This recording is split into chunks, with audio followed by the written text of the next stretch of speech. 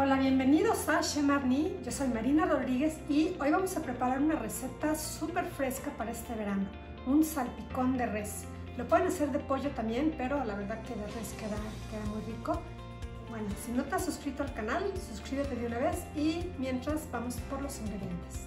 El primer paso que vamos a hacer es que vamos a lavar y desinfectar un poco de cilantro, vamos a picar un poco de cebolla, de preferencia morada, y vamos a picar en cuadritos unos rábanos.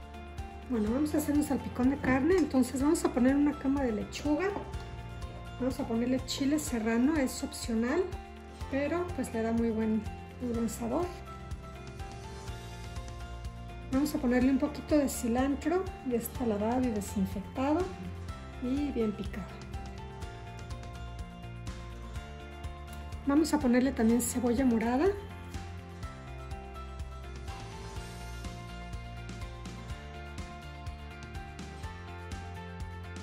Vamos a ponerle también rábano.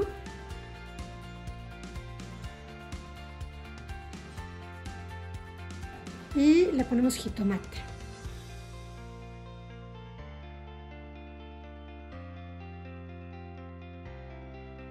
Le ponemos la carne, en este caso es falda de res, está cocida, deshebrada y también picada un poquito más fino.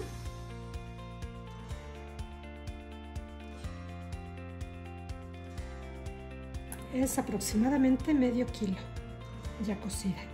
Le vamos a poner también jugo de limón.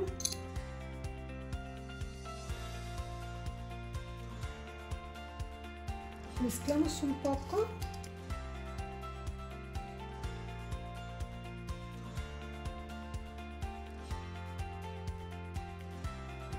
Y adornamos con unos trocitos de aguacate. Si queremos le podemos poner también un poco de aceite de oliva. Y por último un poquito de sal y pimienta.